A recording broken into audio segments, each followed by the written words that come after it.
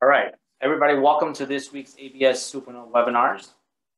As I uh, mentioned to you guys previously, uh, the webinar sessions will be recorded and uploaded to our YouTube channel. Um, you can locate this the Marmon Food Service Technology YouTube channel.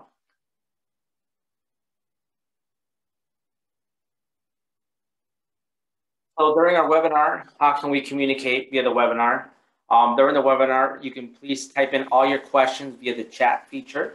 So as you can see here, you'll find uh, an area that says chat. Click on that and just type in your questions. Um, questions will be reviewed at the end of each presentation. So what's today's topic? Today's topic is how to get the latest software and update on the ABS 2.0. So what's needed as far as tools? You'll need a PC laptop, to download the software from website. You'll need a USB drive to save the downloaded software and to upload the software to the ABS 2.0. Just a quick here tech tip for everyone's awareness. It's highly recommended to use an empty and working USB drive to ensure only the ABS 2.0 software files are present during the update. You're asking yourself, why do we want to update software?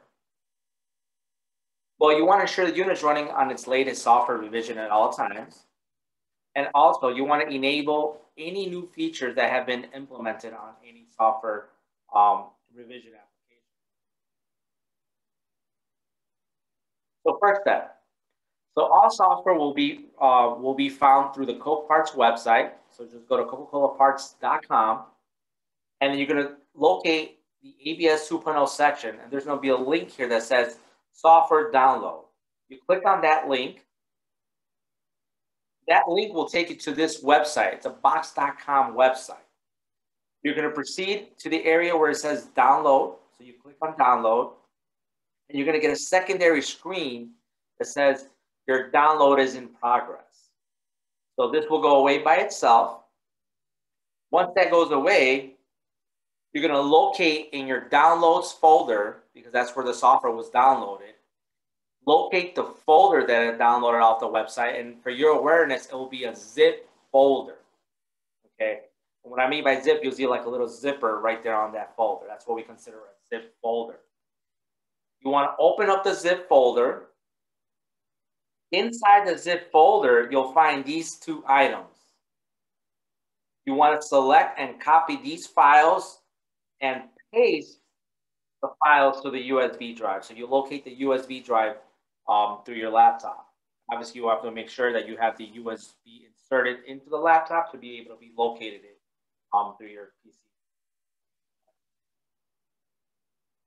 So once you open up the zip folder, you copy these items, you paste the files to the USB drive, you proceed with taking that USB with you. And now we're gonna go to the unit, we're gonna select menu, we're going to go into Technician. And then the passcode to go into Technician is the following, 9876. You select the green arrow. And then we're going to locate software update.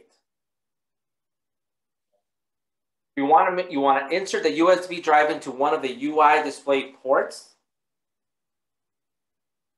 Then once you select the software update from the screen, you're going to get this secondary window right here. At this moment, your USB should be already inserted on the, on the, on the units, and the update software from USB will be lit up. Just a tech tip for, for awareness as well. If this button does not illuminate, what that means is the software was not transferred correctly onto the USB drive. If the files were transferred correctly onto the USB drive and the USB drive is working as it should, the update software from USB will lit up. You proceed with pressing this update software from USB and the update process will start. After the unit goes through its full update software process, you then proceed with removing the USB drive from the UI display.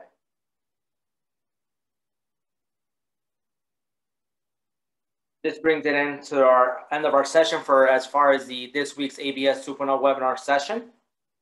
Uh, once, once again, visit our website for future opportunities to register for upcoming ABS 2.0 trainings.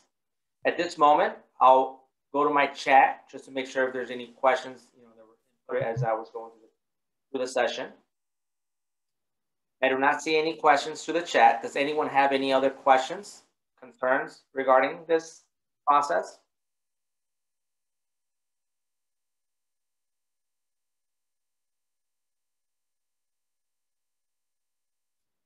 All right. So once again, uh, this YouTube or this uh, webinar session video will be uploaded to our YouTube channel for future um, viewings at a later time. Once again, thanks for joining and have a great rest of your day.